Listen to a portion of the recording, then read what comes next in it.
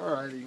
I, I've done many attempts on spindle extensions, and uh, I they keep breaking off. They're no, they're no good for what we what we do with these motors. For mudding, it's pretty nice, but for off road and stuff like that, it's just they keep getting caught on everything, and it's just they keep breaking off. So what we're doing is here we have a set of uh, regular old back tires right here off of a Murray uh, ride lawnmower. What we did is we actually took and cut the top of the spindle, or, or not the spindle, the uh, The hub. the actual hub on the tire, and only took about an inch off. And it, this one's not finished yet. This is what we started with. Um, but through cutting that out, I still have sufficient clearance on my mower, as you can see. I mean, it still clears perfectly, and I can bolt it on to the original setup. We'll actually get the process I'll show you the process on how to do it on this one. Um, I just started filming a little bit late, so. Alright, so we're about to start on the second wheel, and what we're going to do is, obviously it's kind of hard to get a grinder with a cutting disc down in there due to the shape of the wheel. But this is what you want to do. If this is the shape of the wheel right here, just a rough drawing, and this is your spindle coming up, or your hub, you want to cut at an angle to uh, as far from the center line of the uh, the hub as possible, and do the same thing on this side, and that'll actually give you a line right there. And then you can just take a flat disc or a grinding disc or anything and grind it down smooth. So yeah, that's what you want to do, and uh, we'll show you that process right now. And the good thing about this process is there's no welding, so if uh, you uh, don't have a welder like we do at the moment, Or you're just a really, really shitty welder, like myself. Um, This works just fine.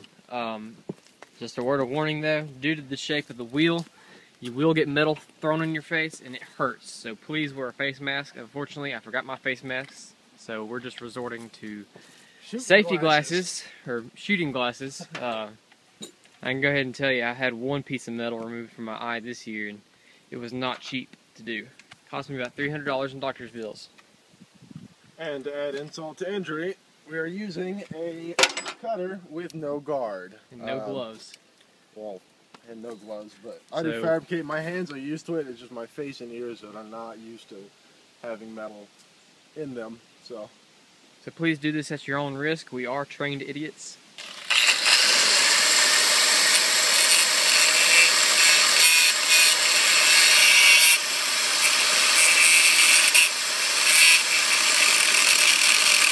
It's kind of hard to get it started, but once you do, it pays off.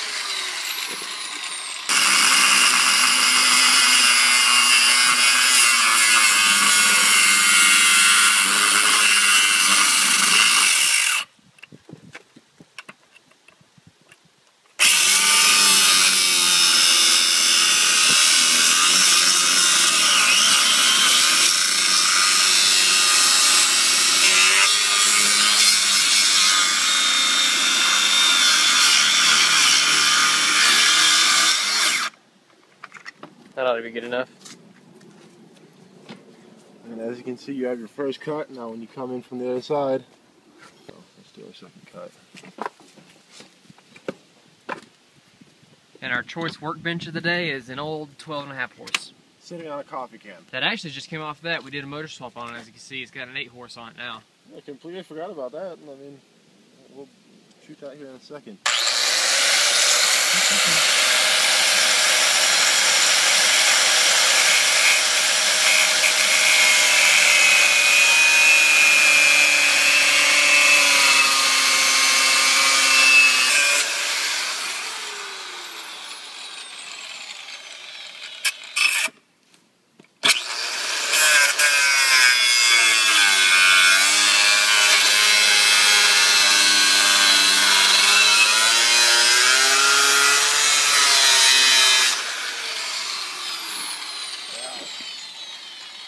Oh man.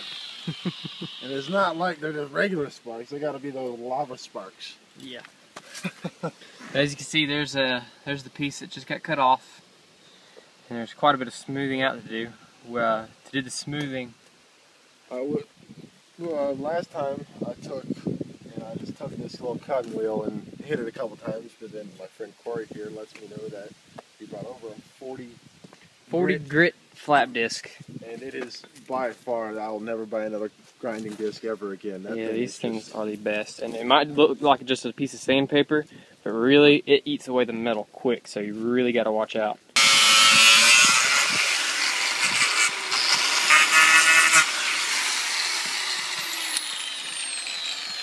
Gets one side of the V off.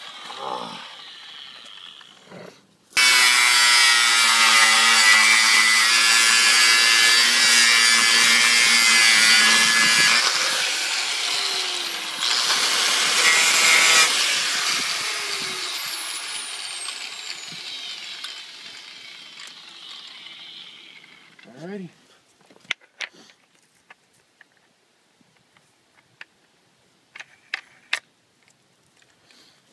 Alright, knock this down a little bit. Here's a before shot, before the flap disc. Now this is the part where you really get metal thrown in your face from the flap disc, so if you have a face shield, please use it. Uh, we will not be responsible for any uh, embedment of metal in people's faces. So be safe guys, use face masks, unlike us.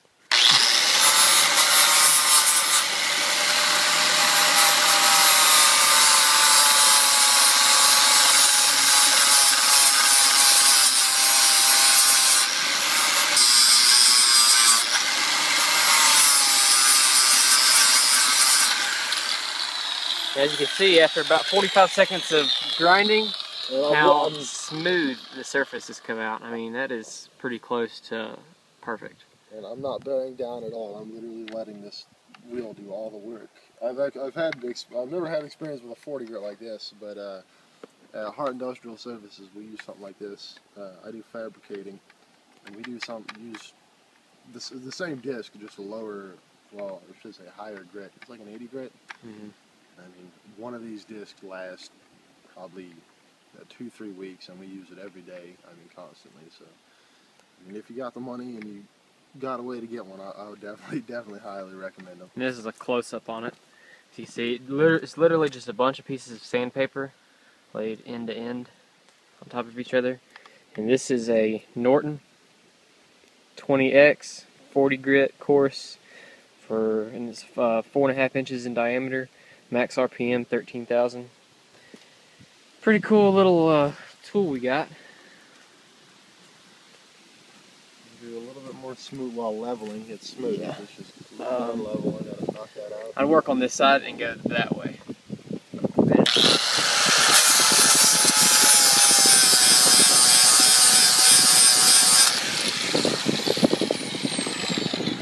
Oh, bam! And that was quick. See how she fits. Motor bolted in. Get my battery moved.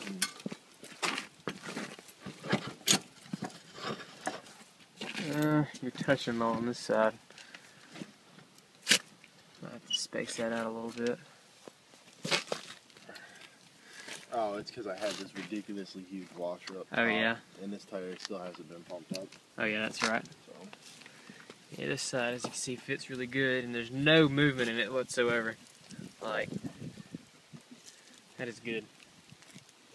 So I think once we get that pumped up and everything, get that washer changed out, I think that'll do it. I think Joe wanted to talk to you guys about the Craftsman. Well, um, my 12.5 that was on it got really low on power, and I'm thinking it's a carburetor. But I had a little Troy-Bilt mower that had this 10 horse with a full start. Eight horse. Or, yeah, I'm sorry, 8 horse. Uh, what what was it that had the 10 horse? The 10 horse was the.